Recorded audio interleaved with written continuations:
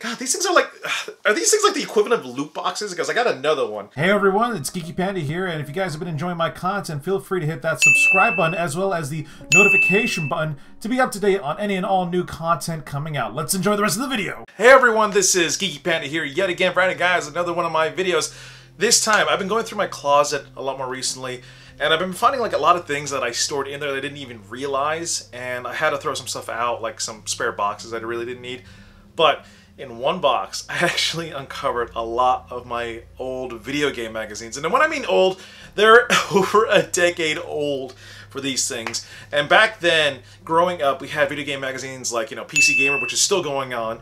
We had, you know, Xbox Official Magazine. We had the PlayStation Magazine, Game Pro, EGM, so on and so forth. But sadly, one by one, they just started, you know, printing, basically. Because with the internet, you get a lot more out of it. So First up, we're going to look through EGM, or Electronic Gaming Monthly, that was part of 1UP. I actually preferred EGM over Game Informer. So one of the first issues right here, which is a September 2008, issue 232, discussing Soul Calibur 5. And of course, we got an ad for, no, not Soul Calibur 5, I'm sorry, Soul Calibur 4, with an ad of it in the back. So it's actually really cool looking through this, seeing all the ads they put in there the interviews they did, the previews and reviews. Like, I see right here, coming soon, Silent Hill Homecoming, which we all know how that went. But it's like really cool to see like all these things and all these articles that people done over the years. So we got that. Another issue right here is, you know, Mirror's Edge. I got an issue right here showcasing Resident Evil 5, Wolverine, Watchmen, Killzone 2, which I love and enjoy, which they do have a review of Metal Gear Solid 4 in it. But again, some of these magazines, I wish they're in better condition, but I was younger, so yeah. But this is an interesting magazine right here because this is a uh, hands-on preview of April 2008, issue number 227 of Grand Theft Auto 4. Yes, 4. They have a full-on preview in here with an interview. And the one thing that was in this magazine is they had a preview exclusive first look I'm going to open it up here. I wish there was a better way to showcase this. Of Lego Halo. So that covers Electronic Gaming Monthly or EGM magazines, uh, which were a part of 1UP, which I, I enjoyed 1UP. 1UP was a great website. Okay, next up is, of course, Game Informer. Now, if you ever shopped at a GameStop, obviously, if you did their, you know, pro, you know, subscribe to their card program, you get the uh, Game Informer magazine. This is a really interesting issue. This is issue 188 December 2008. It was a holiday buying guide, but it had the world exclusive details of Halo 3 Recon. Ultimately becoming Halo ODST right in here. Now again, uh, this magazine is still, for the most part, in pretty good condition, but yeah, like, you had all this stuff in here. And originally, Halo ODST, uh, Halo 3 ODST was Halo uh, was uh, originally called you know Halo 3 uh, Recon, and yeah, like let me just try to go through this magazine right here. I'm trying not to like tear any any pages because that'd be like really bad. But yeah, like like right here. As a Halo fan, this is awesome. So we got that right there. Going through my other mags, we got Batman Arkham Asylum, Dragon, uh, Dragon Age Origins. Uh, what is this? I always love it. They do like, you know, this is your last issue. Resubscribe now. You know, go to GameStop. Just do it. And right under here, I actually kind of like this because it, you don't know what's on the other cover. But for here, uh, we got Assassin's Creed 2. One of the special issues that I do have from Game Informer here is issue 200. This is they did a top 200 games of all time for this issue. Now, for this one, you got uh, one of eight covers, and mine is, of course, Metroid. But they listed all down here the top 200 games ever made. So, I wish this was in better condition, and I'm, you know, but you know, goes, you know, goes to say that at least I own one. LA Noire issue back in something, something, something. Portal 2 and the expiration notice started to become a sticker, which really annoyed me. Bulletstorm, underrated game, mind you. We got one, oh, Jesus Christ. when was this? This was 200, the 250th issue. Jesus Christ. This was uh, February 2014. Evolve. Need I say more? This is 20 pages on Metal Gear Solid, Ground Zeroes, The Phantom Pain, and everything else in between. So I have two copies of this. This was actually a March 2014 issue 251. So I have it right here, and I believe this is a, yes, on the back. Again, I love Yoji Shinkawa's artwork, so it's really cool that I still have it. I went out of my way to save it. This was a December 2010 issue, basically another holiday guide here, but it had a really unique cover involving a couple of video game characters right here. Like in front, you see Master Chief, Commander Shepard. You know, we got oh, Psychonauts. They always do this. They always have like a holiday issue, like holiday buying guide, what to get for the holidays, all that dandy stuff. And is actually kind of pretty thick too, so. That's what she said. Ha!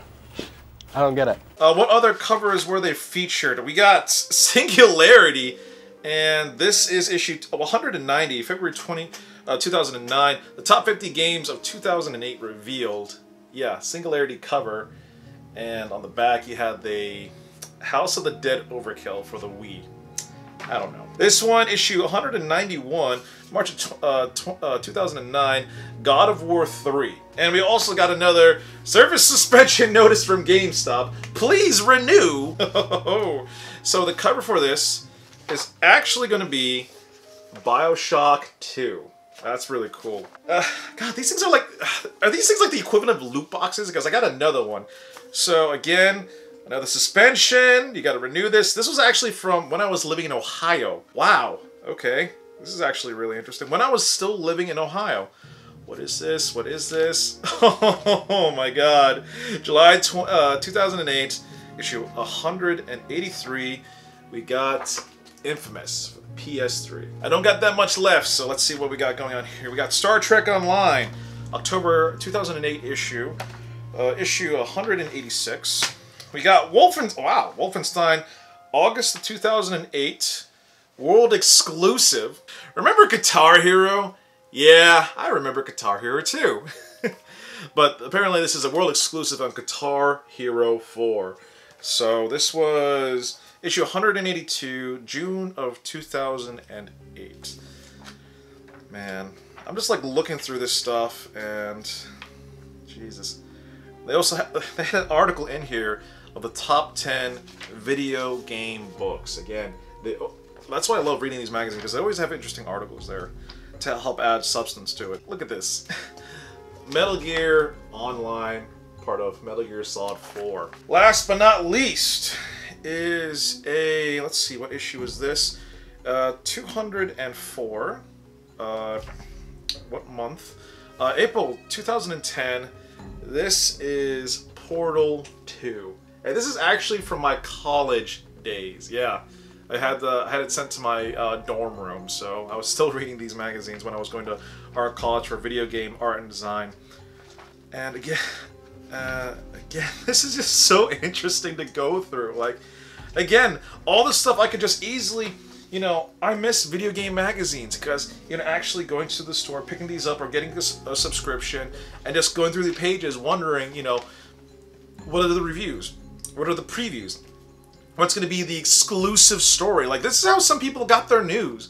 Back when the internet was still in, in its infancy, you know, people, you know, read a lot of magazines because it was just better and easier. Nowadays, we got the internet full speed, and you don't need to go to a store anymore. You don't, you know, you can just go online to, you know, there's articles made by thousands of people out there from different websites and companies to bloggers and all that dandy stuff. You got YouTubers as well making content. You know, you don't have to read anything. You can just watch it now. But it's just really interesting to see, you know, where you know where we left and actually I'm really intrigued that I want to kind of go you know go through these magazines together with you guys but I have to develop a rig to point the camera down looking at it which I do have some ideas because uh, uh, someone had a rig set up back at Retro World Expo for that very purpose but this is just really interesting history right here I'm just like again I had these all in a box you know just collecting dust now I'm actually opened it up, going through these things, and it's so crazy to see these things. Like, hell, freaking EGM.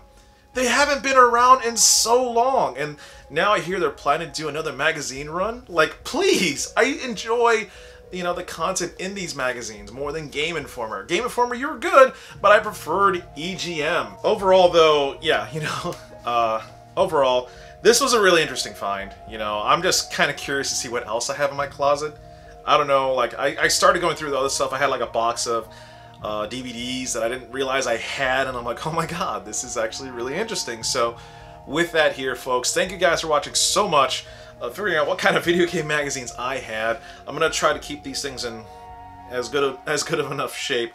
They are old, but again, some of these are really interesting. So, other than that, folks, thank you guys so much for checking out this video. Post down in the comment box of what video game magazine were you subscribed to that you enjoyed a lot. Don't forget that like button. Don't forget to subscribe if you haven't already. Also, if you really want to help support the channel, I do have a Patreon page, and I'm partnered with iyashikei.moe for all your anime and otaku fandom needs. This is Geeky Man here. I'm out. Stay geeky, my friends.